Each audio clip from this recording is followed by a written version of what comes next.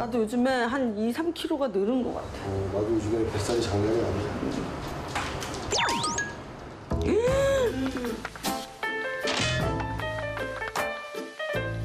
프로필, 프로필 몸무게 바꿔라. 아, 나 너무 많이 몸무게 늘었네. 체중 관리 잘하는 사람들 보면 집안에 항상 저 체중계를 그럼요. 수시로 왔다 갔다 해요. 네, 그러니까 아침에 일어나서 재는 걸로 네. 그다음 그날 아침에 뭘 먹을지 약간 좀 정. 어 떡하냐? 그러니까. 아 진짜 근데 운동 너무 안 하지 요즘에. 너무 하지. 근데 나는 항상 이렇게 조금 조금씩 해, 운동. 나는. 뭐 자기 하는 거뭐 뭐, 난 항상 알았어. 준비가 돼 있지, 나는. 뼈뼈이랑 아랫분이 더 있어? 일단, 오. 그것만 하면 되는 게 아니잖아 운동이. 이것만 하면 되는데. 근데 맨날 이것만 하게 돼. 아니 그러니까 사람은 이제 복근 운동을 좀 해야 돼.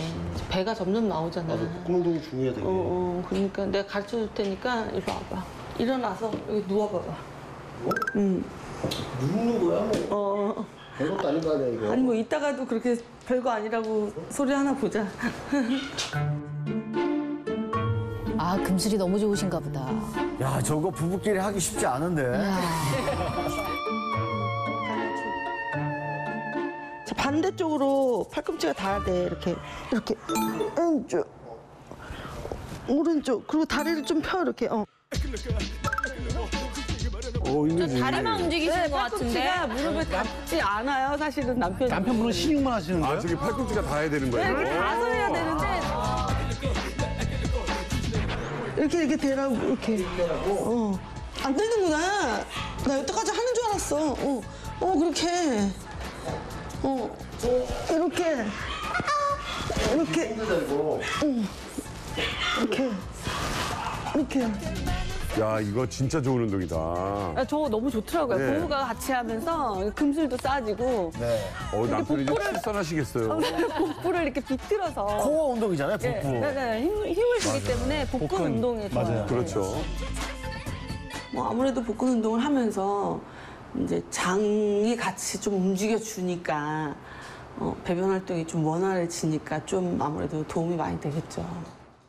실제 저건 장 건강에 도움이 될 것 같아요. 어 너무 좋아요. 네. 네. 이 복근은 장을 지지하고 보호할 뿐만 아니고요.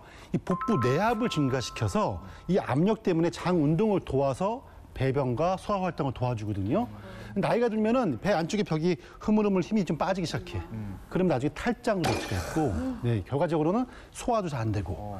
바로 김지현 씨처럼 이 복근 운동을 하면은 이 장기를 지지해주기 때문에 이런 것도 예방할 수가 있고, 장 기 능도 올라갈 수 있고, 참 큰 도움이 될 수 있습니다.